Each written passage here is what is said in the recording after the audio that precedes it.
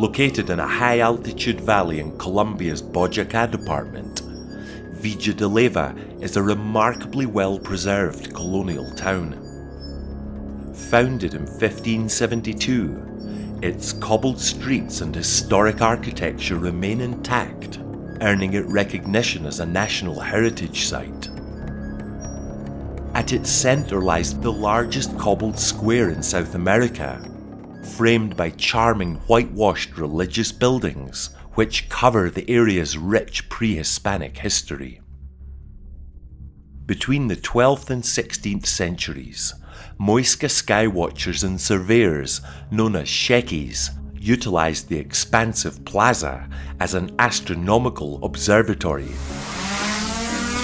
Since the 1960s, archaeologists have uncovered surrounding stones and mounds aligned with the plaza, marking significant celestial events that guided the Muisca's civic, agricultural, and ritual calendars. The 16th century grid pattern of streets overlays the original Muisca road system. In March 2023, our team used drones to map Villa de at night, revealing this ancient layout through the town streetlights.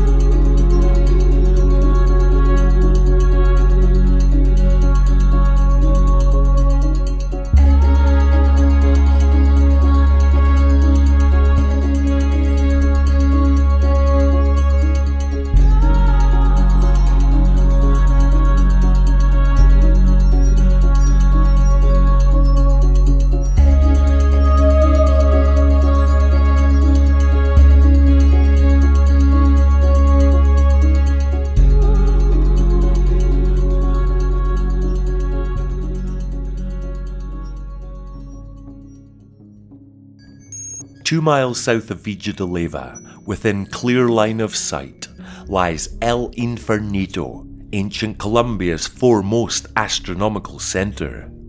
Named the Little Hell by 16th century Spanish conquistadors, the site's stone arrangements were linked to what they deemed pagan rites. Columnas son precisamente, estas se convierten en un calendario. Entonces nuestros muiscas se dieron cuenta que cuando la sombra de esta piedra iba por acá. So the format of the observatory spells out the extremes of the sun in its annual cycle.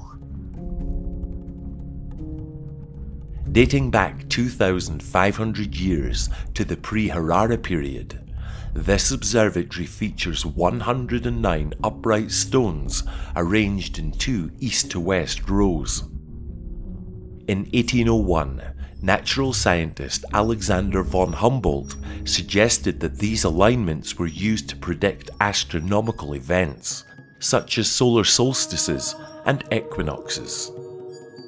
This hypothesis was confirmed in 1961 when Carl Henrik a renowned Colombian historian and archaeologist, observed that shadows cast during the equinoxes marked the onset of the rainy seasons.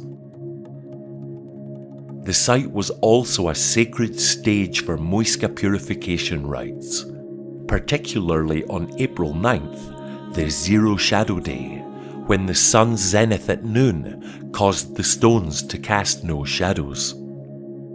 This astro-architectural phenomenon, known as a hierophany, symbolized the profound connection between the sacred and the ordinary.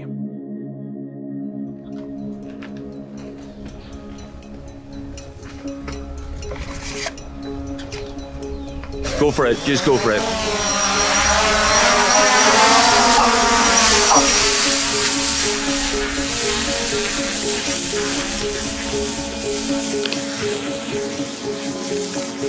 You know this. You see this?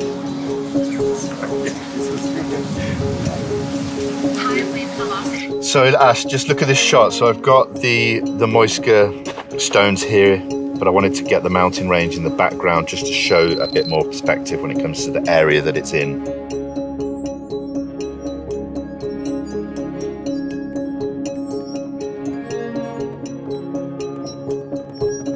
So now I'm going to do a low fly, slow, at 60 feet altitude, across the sides.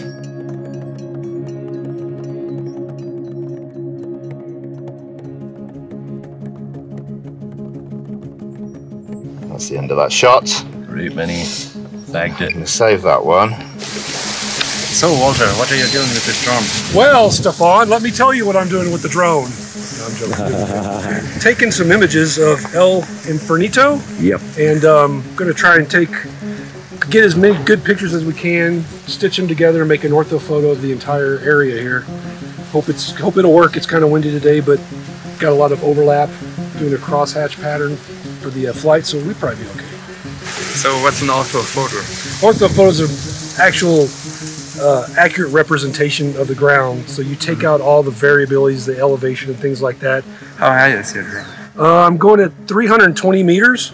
No, no, 320 feet. Sorry, and um, it's probably going to take about 200, 250 pictures, and I think the resolution is probably going to be one and a half inches per per pixel.